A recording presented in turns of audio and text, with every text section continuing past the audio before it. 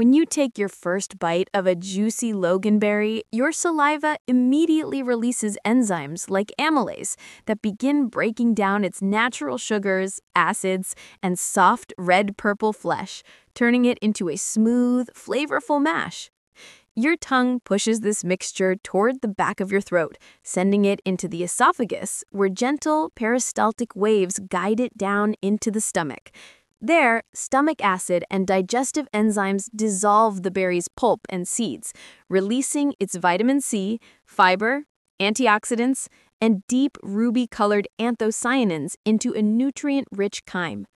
As this mixture moves into the small intestine, bile and pancreatic enzymes unlock even more nutrients, allowing them to be absorbed through millions of tiny villi and carried into your bloodstream. These nutrients travel to your heart, brain, and skin, strengthening immunity, fighting inflammation, supporting collagen production, and improving blood flow. Meanwhile, the loganberry's natural fiber